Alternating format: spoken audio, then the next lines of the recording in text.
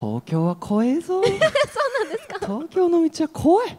取り立ての時とかどこか運転されたりしました？いやでもマジで家から歩ける距離の喫茶店とか ビビリなんで。はい。いかがでしょうか？はい。どこよりも早い来年の抱負発表お願いします。はい。免許を取るです免許を取る。はいはい。は車い。の免許を取りたいです、はい。うんどこに行きたいというよりは母親にいつも運転してもらっていたので、はい。私が運転してあのどこかに連れて行ってあげたいなって思いますねはいああそうですか。優しいですね。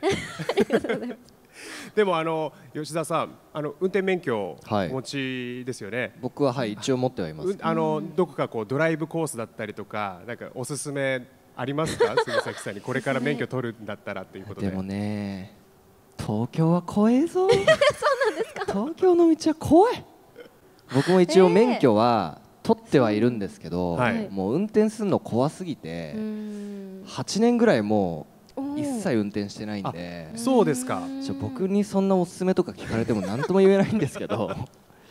いやでもね確かに免許があればこう、はい。お芝居でもうん意外と免許を使う瞬間とかあったりもするしまあ便利っちゃ便利なのかなっていう気はしますけど、うん。はい、確かに。取り立ての時とかどこか運転されたりしました？いやでもマジで家から歩ける距離の喫茶店とか を車で行ってみすごい近いてですね範囲が。そうなんです。あんまりこう遠出するのすごい怖くてビビリなんで。はい。なるほどじゃあ車走らせて旅行に行くとかっていうのはあんまり今まではやってこなかった。やったことないですね、うんあそうですか、はい